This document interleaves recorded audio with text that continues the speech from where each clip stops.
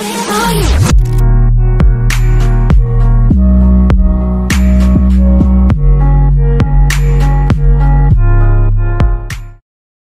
and welcome to this YouTube video. In this video, I will teach you how to deploy a Django project to an AWS EC2 instance. So the first step that uh, we need to take is make sure that our project or your project is already uh, on a GitHub repository. Now the reason why we need to do this is because it's going to make our life easier when we want to deploy this project to the instance. So make sure that you just deploy um, your project to uh, GitHub so we may proceed. So the next step you need to take is log into your uh, Amazon dashboard and you, you need to search for EC2 uh, right here, search bar. So just click it and when you click it, you'll be brought to um, this page. So just uh, click instances. So this is just going to take you to where you are going to see all your instances. So right now I have uh, just one running. So I would like to launch a new instance because we want to host this uh, website, this Django project on a new instance. So click launch instances. So the first uh, thing that we need to specify on this page is the name of this server. Now you can decide to name uh, this server anything you want. I'm just going to call it um, tutorial. Now, after specifying the name of this tutorial, we need to select uh, an operating system that we want to deploy this project to. And it's the operating system that will run on this server. So we're just going to go with uh, Ubuntu. Now, the next uh, step that we need to take is that we need to make sure that uh, we are seeing a type of T2 micro under the uh, instance type. So just make sure that uh, you have T2 Micro because it's the free tier. So we can uh, have an instance for free running on AWS. So after doing that, we need to scroll down to network settings. And you need to make sure that create security group is clicked and allow SSH traffic from ticked. So you need to make sure that these two things are ticked. Now, the next uh, step that we need to take is, yeah, I think that is pretty much it. So let's click launch instance. Now it's going to ask us to create uh, a key pair, but let's just click create without key pair because we uh, we won't SSH into the server as we will be working directly on the cloud and I will show you how we're going to do this. So just click proceed without key pair and take it here. So after doing that, just click launch instance. So when you click that, it's going to um, launch the instance for okay? So let's now go to instances. So when we come back to instances you'll see that uh, the instance state is pending and then the status check is still being it has not been verified. So what we need to do right now is wait for the instance state to say running and we need to uh, wait for the status check to say 2 over 2 passed so you can do that by constantly refreshing so I'm just going to pause here and wait for the uh, instance to finish uh, setting up. Okay, so right now, um, we can see that the instance state says running and the status check says 2 over 2 checks passed. So right now, our, our instance has been successfully created for us. What we need to do right now is we need to connect to this instance. So click the instance that uh, you have created, which is tutorial that I created. And once you click it, uh, head over to the top here and click connect. So once you click connect, just scroll down a bit. And then when you see connect, just click that button. So it's going to open um, this web terminal for us that we can use to interact with our server, which, which we just created. So let's just clear out uh, the screen and do that by typing C-L-E-A-R, which is clear. Now, uh, what we need to do first is that we need to update this server. Uh, so what uh, the command that we're going to run is sudo apt uh, dash get space update. So once you uh, run that command, it's just going to update this server for you. Now, I had already gone ahead and done some testing, so that's why the prompts being printed are very short but for you it's probably going to take a while for server to update. Now that's why it took a very short while for mine to update. Now the next step that we need to get yeah that we need to take is that we need to clone this GitHub repository which we had created here into this EC2 instance. So I want you to head over to your repository, click this drop down right here and copy the link. So after copying it, head back to your EC2 instance. Let's clear the screen and run uh, the command git clone and then paste that link. So once you do that, it's just going to clone um, the repository into this EC2 instance for us. And if I type ls, which is to see the contents right now, we can see that a new folder has been created called Django Channels Chat app, which is the exact same name of my repository. So right now I have successfully cloned the repository into server. So let's cd into this uh, folder. And when I say ls to see the content, you can see that it's the exact same content as the one on repository. So we have the requirements, templates, and all that. And it's the exact same thing getting displayed. Right, so let me clear out the screen. The next step that we need to take is we need to install the dependencies that our projects need. Dependencies like obviously Django and other um, libraries that we probably used. That is why I have a requirements file in my repository that I can install from. Now we know that in order to install repos um, in order to install packages, we need to use pip, which is the uh, package install manager for Python. Now, in order to um, do this, we first need to install pip. So uh, we need to run a command right now to install pip.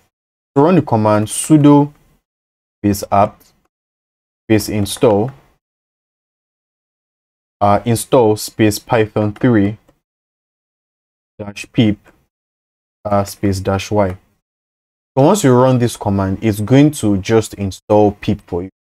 Now, the reason why, again, uh, the reason why uh, the prompts are short is because I already have pip installed as I went ahead and um, did some testing. If uh, while you were installing, you saw uh, a strange prompt just show up on the screen, you can just click exit and that will get rid of it. So let's clear out the screen right now. So right now we have um, pip installed. The next step that we need to take is we need to install all the requirements for our project dependencies. So I am going to run the command pip install or let's write pip3 install uh, dash r requirements dot txt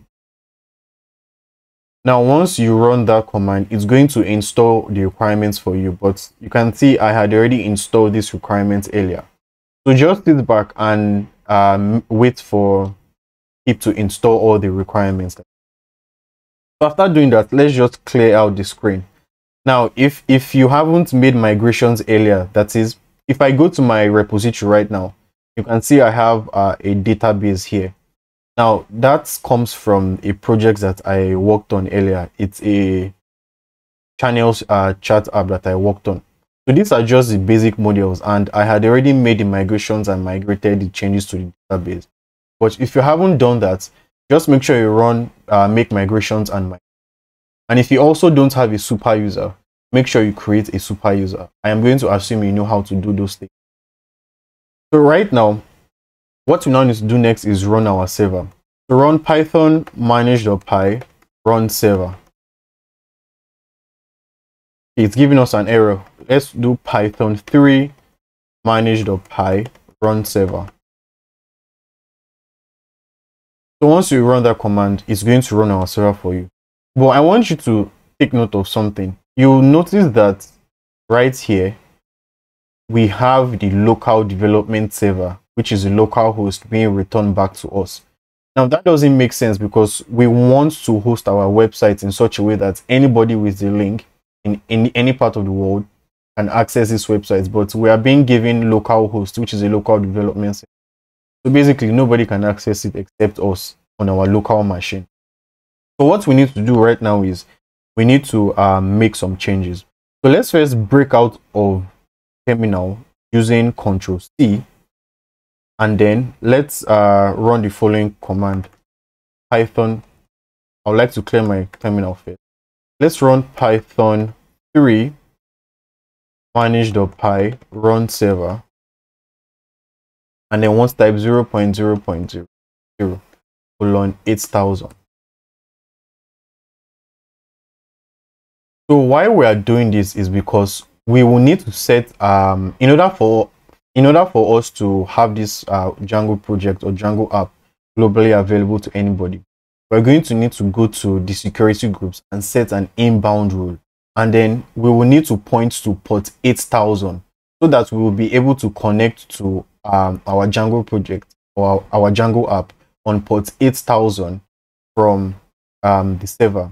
So you are going to see how uh, we are going to do this. So what we need to do right now is head back to the EC2 instance. And then, uh, so I'm just going to head back to the and then I want you to click that instance. And if you scroll down a bit, you'll notice that we have this public IPv4 address. If we open that link in a new tab, now when you open this link, I want you to replace the HTTPS with HTTP and then visit it on port 8000. So it's going to be colon 8000. Now, once we try uh, visiting this link, you are going to notice that nothing is going to happen. Now, nothing is going to happen because we need to set up uh, the inbound rule, which is going to point to our app, uh, which is going to point this IPv4 uh, address to our app and to our Django application on port 8000. So we need to head back to the instance. Now this is just going to load and eventually it's going to stop loading and display an error in the browser. So we need to head back to um, the browser and then we need to click this uh, ID, instance ID of our EC2. So once we do that, I want you to scroll down a bit and then under the security tab, you'll notice that we have inbound rules and outbound rules. So what we need to do here is that we need to create a new uh, inbound rule. So you see this URL here for security groups. Click this URL and you will be brought to this page right here. So what we need to do is say edit inbound rules. Once you click that, just click add rule. So we need to add a new uh, inbound rule. So under here for for the port range, for the port range, since we would like to connect to port 8000 we're just going to type in 8000 here and then for the uh, source info we're going to select 0 if i zoom in here um zoom out i mean we need to select 0 0.0.0 because uh, you know uh, we had run the server earlier on that particular url which is here so we need to select that so basically it means that uh, we can connect to our Django app from anywhere or, or from anywhere on port 8000. That is why we need to do That's why it's saying anyway. Since we can connect to our Django app on port 8000 from. Once you've done that, just click save rules. Now, uh, once that has saved, we can head back to the URL and reload. Now you will notice that uh, we are getting an error saying invalid HTTP blah blah blah. So this is purely coming from Django. Now, uh, the reason why we're getting this error is because um, in the installed apps in our Django projects, if I go to my settings right now, let me just go to my settings on the repository. If I go to my settings, I hadn't specified um, allowed host right here. So it's giving us an error. So now we can solve this simply. If we head back to the um, terminal right here. Let's break out of the server. Now, once we break out of the server, we need to edit our settings.py file in our project folder. Now, if we edit it on our project on GitHub, we'll have to reclone the uh, repository and uh, that's just a longer process. So we can do this in a shorter way. If I say, uh, let me just clear my screen first.